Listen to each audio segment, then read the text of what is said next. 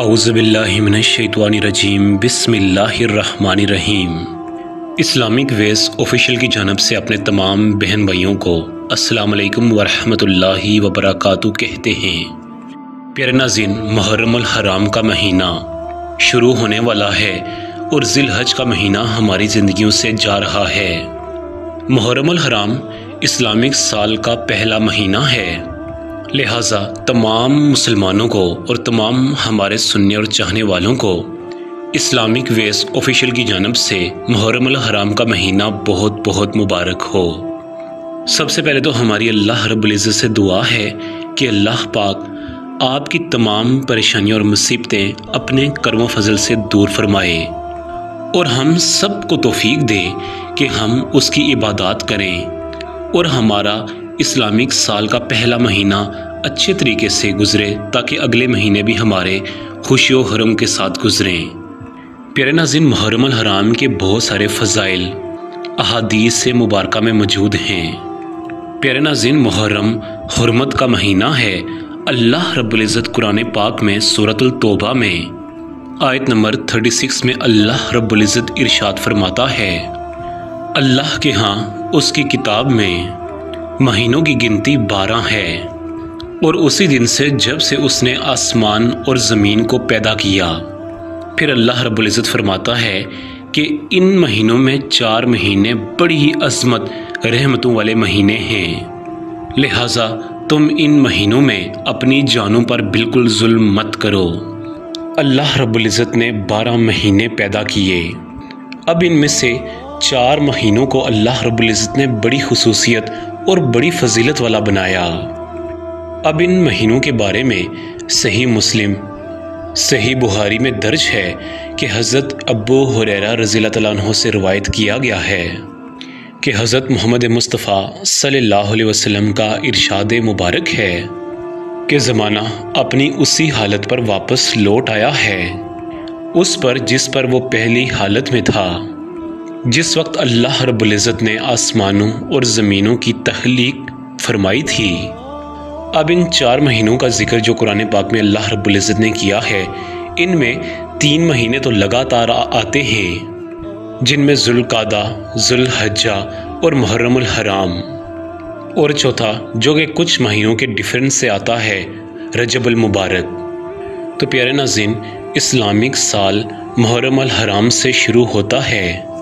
लिहाजा हम आपको इस्लामिक साल के पहले महीने के हवाले से, यानी जब इस महीने, यानी मुहर्रम हराम का चाँद नज़र आ जाए तो आपने उसी वक्त इस अमल को शुरू करना है। और ख़ुशी की बात यह है कि हम आपकी खिदमत में बहुत ही मुनफरद, बहुत ही अजीम और मुजरब अली शान वजीफ़ा लेकर हाजिर हुए हैं। क्योंकि हमें बहुत सारी बहनों और प्यारे भाइयों ने हमें कमेंट बॉक्स में मेंशन किया था।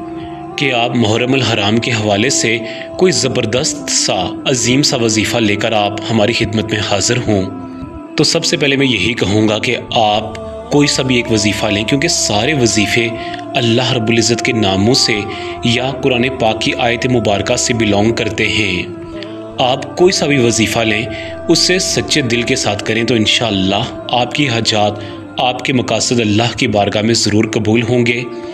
लेकिन मेरी आपसे गुजारिश है कि आज जो वजीफ़ा मैं आपकी खिदमत में पेश करने जा रहा हूँ, ये स्पेशली मुहर्रम हराम के हवाले से बड़ा मुफीद जाना जाता है। लिहाजा आपने मुहर्रम हराम का चाँद देकर इस वजीफ़ा को करना है।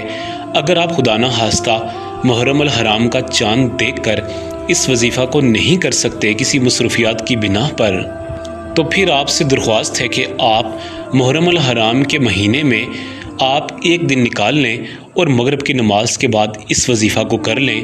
उसके बाद आपको दुआ का तरीक़ाकार बताया जाएगा। इन आपकी कोई भी जायज़ ख्वाहिशात होंगी। आपका कोई भी नेक मकासद है।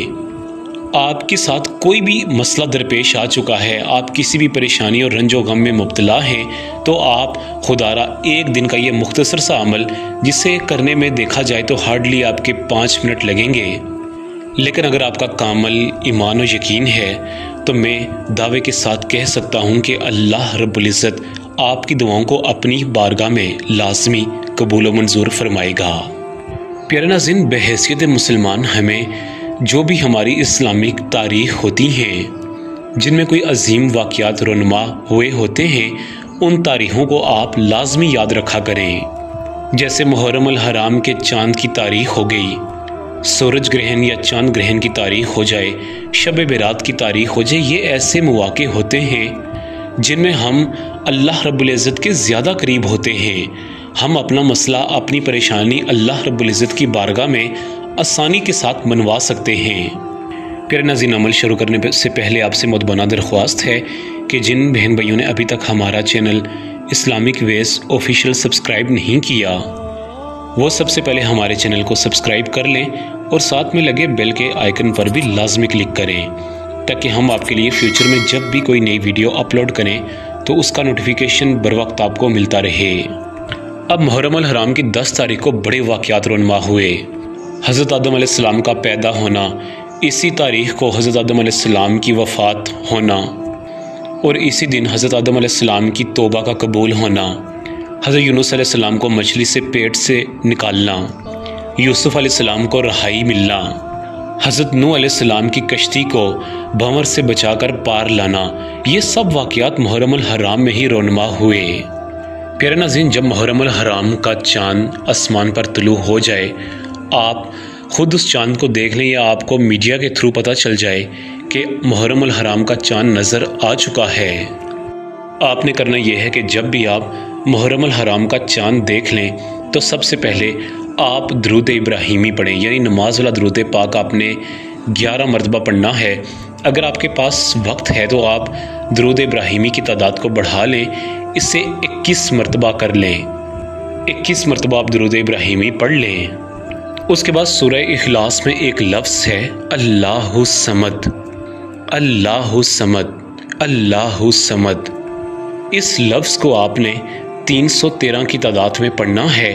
और आखिर में आपने दोबारा 21 मरतबा दरूद इब्राहिमी पढ़ना है। जब आप अल्लाह समद पढ़ें तो आप इसका तर्जमा भी अपने जहन में रखें कि अल्लाह बेनियाज है। इस तरह आपका जहन ज़बरदस्त तरीके से अल्लाह रब्ज़त की तरफ़ गामजन या उनकी तरफ़ रागब हो जाएगा।